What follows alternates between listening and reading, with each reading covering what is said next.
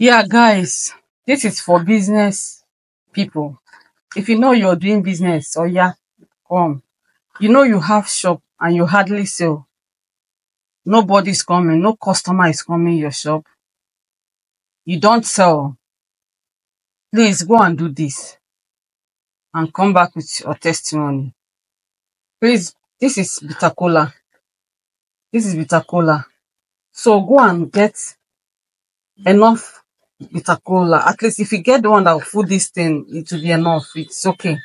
The one that will be feel that that will food this my small the rubber here. Go and get it. You get when you get it, don't peel the back. Don't peel the back of the uh, the the bitter cola. Don't peel the back.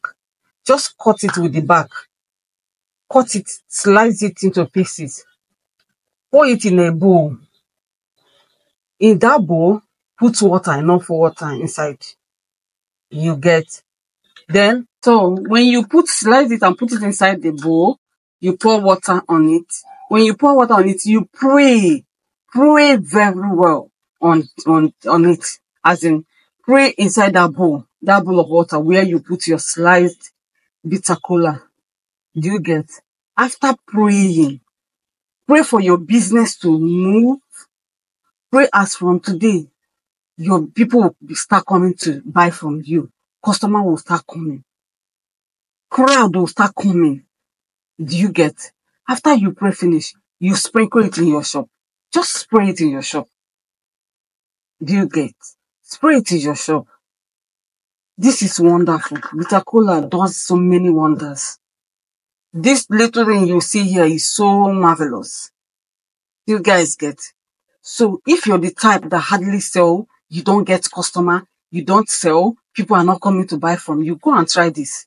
Get enough of this. That is, get the one that will fool this, this rubber. Do you get? Then slice it with the back. Don't peel the back. Slice it together. Put it in a bowl. Put water on it. Pray your heart desire. Pray on that water. And say that from today, people, in fact, customer will chase you away from your shop.